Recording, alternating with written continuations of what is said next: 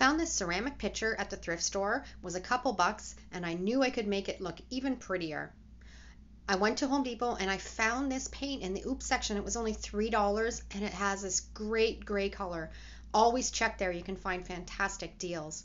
I mixed some of it up into my homemade sand paint.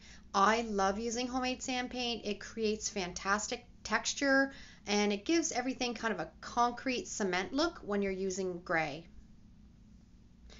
This picture took three coats, letting it completely dry in between each coat. And my last coat, I like to just dab it on. That creates even more texture. And I love the way that this turned out. I've taken a dated picture, mixed up some sand paint, and created this beautiful concrete stone looking vase.